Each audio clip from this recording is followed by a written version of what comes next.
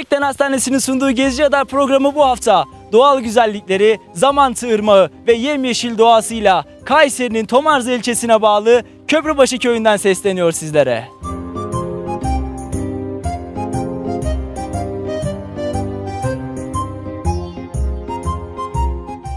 Tekden Hastanesi Gezici Radar programını sunar.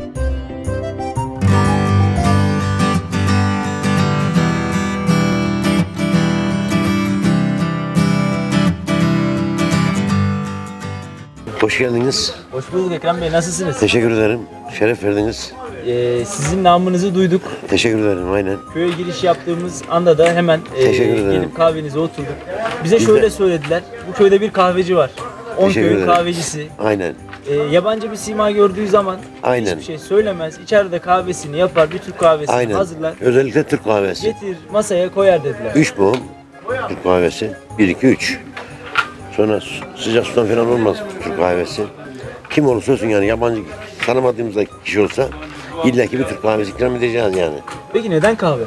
Dedem rahmetlikten belli. Babamdan değil, dedem rahmetlikten belli. Tabii 1948'den beri aşağıda kahvelerimiz duruyor bak. Binalarımız. Dedem rahmetlikten beri işte geleni gideni dağlarlık yani. Yani siz bu köyün aslında bir siması haline gelmişsiniz ki biz Geleceğe. e, Tomarza'ya gidiyoruz, Köprübaşı'na ederim. gidiyoruz dediğimiz zaman orada bir Ekrem Bey var. Gidin Evet, kahveye teşekkür ederim. oturun. E, Türk kahvenizi masaya getirin Aynen. dediler. Özellikle Türk kahvesi çok severim yani. Biz de geldik hazırlık Teşekkür ediyoruz ederim. burada. E, biz teşekkür ediyoruz. Nezaketinizden dolayı bu Renk artık verdiniz, şeref verdiniz. özdeşleşmiş bir insansınız. Beklerim her zaman başta tacısınız. Yabancı Aynen. kim olursa olsun Hiç- bu kahve buraya geliyor değil mi? İlla ki olacak. Tomarza Köprübaşı köyünün muhtarı Savaş Bey yanımızda. Kendisi bize köyün tarihçesi hakkında kısa bir bilgi verecek. Bakalım Köprübaşı'nda kimler yaşamış ve tabii ki en önemli sorulardan biri de hemen arkamda görmüş olduğunuz bu muhteşem manzara neresi? Muhtarım neredeyiz? Ee, öncelikle köyümüze hoş geldiniz. Ee, Yeşil Köprübaşı mahalle diyelim artık. Mahalle olduk. Ee, şu an e, Zamantı Irmağı'nın köprünün üstündeyiz. Ee, köyümüz e, Tomarca'ya 20 kilometre, Kayseri'ye 50 kilometre. Ee, köyümüzün geçim kaynağından başlayalım. Ee, daha çok e, böyle pancar, patates, arpa, işte hayvanlar için yonca, yulaf, fi gibi e, ürünler ekilir. Tarım ürünleriyle geçiniyor yani bu köy. Evet genelde tarım. Bir de hayvancılığımız da çok meşhur. Ee, köyümüz gördüğünüz gibi ilçenin en merkezi, en kral, en işlek köy. Çok tarihi eski bir köy. Ee, 300 senelik bir köy. Tomarza'nın Paris'i diyebilir miyiz? Doğrudur babana rahmet. Tomarza'nın tam isabet ettin. Tomarza'nın Paris'i. İşte görmüş olduğunuz bir kahvemiz var. Ee, 7-8 köyün insanları kahvemize gelir. Ee, kışın nüfusumuz biraz azalıyor. Ee, işte 170-180 hane falan kalıyoruz ama yazın çok kalabalık. Ee, köyümüzde işte e, maden yıkama fabrikası vardı. Orası kapandı. Ee, genelde işte gençlerimiz okursa okur okumazsa bir meslek sahibi olur. Hayatlarını böyle devam edip geç- geçinip gidiyorlar. Kolay gelsin. Eyvallah sağ olasın. Neler yapıyoruz burada? Hayvanlara bakım yapıyoruz abi. Yunlarını falan kırpıyoruz sıcakta yanmasın. Gelişmeleri daha iyi olsun diye. Yatırdık herhalde kesmeyeceğiz. Yok kesim yok. Peki hangi mevsimlerde kırkılıyor yünler? Ya mevsimine göre, hava şartlarına göre.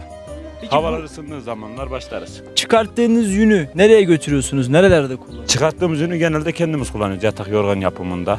Alım olursa satımını yapıyoruz. Ticaret olarak da Aynen. kullanıyorsunuz. Peki ne kadar sürüyor bir koyunun kırkılma işlemi? 5-10 dakikaya fazla bir şey yok, zahmeti yok. Hayvan canı acımıyor herhalde. Ara sıra kesiyoruz ama ondan bir şey olmaz. Peki e, kırkıldıktan sonra yeniden bu halini alması ne kadar bir zaman diliminde alıyor? Seneye bu zaman.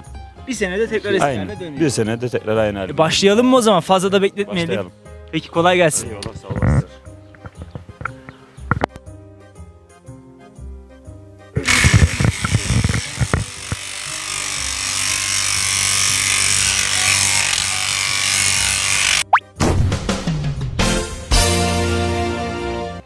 Buraya gelin mi geldin? Buraya gelin olarak mı geldin? Ben mi? Evet. Gelin olarak geldim. Bey amca nerede? Bey amca nerede? Ne bileyim ben. Amca gitti mi? Küçük müydüm o zaman geldim ben. Kaç senedir buradasın? Sen nereden Kaç senedir buradasın? Kayseri'ye de gittim. Gittin mi? Orada oğlum var. Kayseri'de. Onlar bakmıyor. Ha, şu bakayım. Şu da torunum bir on geldi. Torun da bakıyor sana. O da torunum da. Torun da bakıyor. Ha? Torun bakıyor sana. Yok şu Bak- bakıyor. Şu. Bakmıyor mu torun? Yaş kaç? Yaşın kaç oldu? Yaşın. Yaşım mı? Evet. Ben bilmem ki bilmem. Oğlan bilir mi? O bilir. Maşallah. Sen 20 yaşındayken, sen 20 yaşındayken hayat nasıldı? İyiydim. Anlat biraz. Oo, düğüneye devirirdim o zaman düğüneye. Şimdi kalkamıyorum. Niye? E, yok. Neler yaptın eskiden peki? Mezar mı? Neler yaptın? Gençken ne yapıyordun? Yaptılar. Ne? Mezara mı? Neler yapıyordun? Çalışıyor muydun köyde? Ben çalışamıyorum kalan. Önceden, eskiden, eskiden. Eski zamanda çalışıyor muydun? Bu bana ne diyorsa lan gel.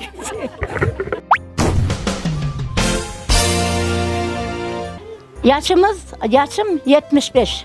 Kaç yıldır bu köydesiniz? Kaç yıldır bu köydeyim. Her hüm öldürüleli bu köydeyim. Buraya gelin mi geldiniz, biz buralı mısınız? Amcamın oğlu, amca kızıyık biz. Bostanlıklıyım, evlendim. Beş çocuğum oldu. Köyde çıktıydım ben. Önce köydeydim. Beşime askerdeydi eşim. Askerden gelince Ankara'ya gittik. Ankara'da da eşim hastalandı. Dükkanımız vardı. Büyük Ata Sanayi'de. Hastalandı. Hastalanınca sattı. Sattı. O parayla Almanya'ya gitti.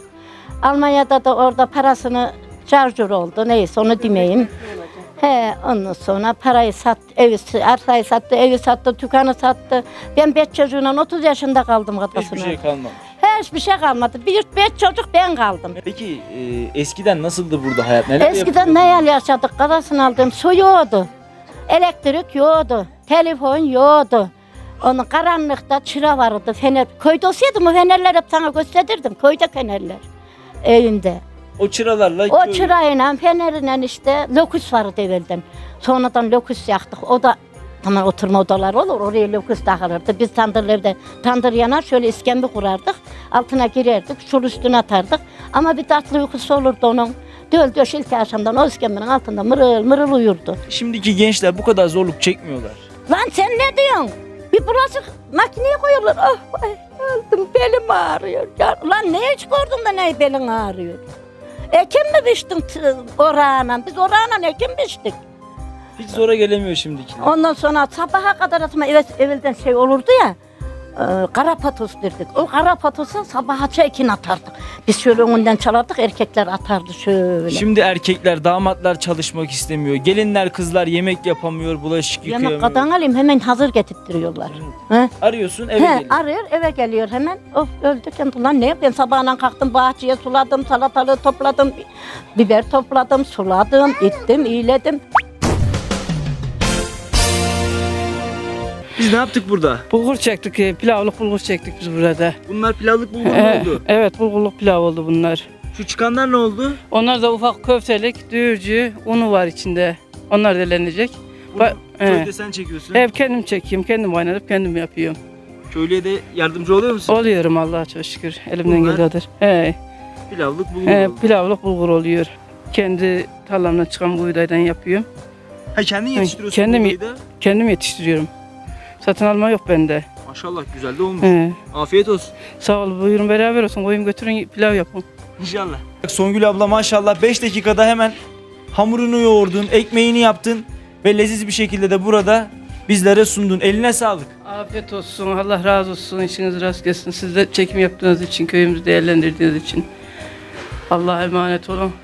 Çok lezzetli.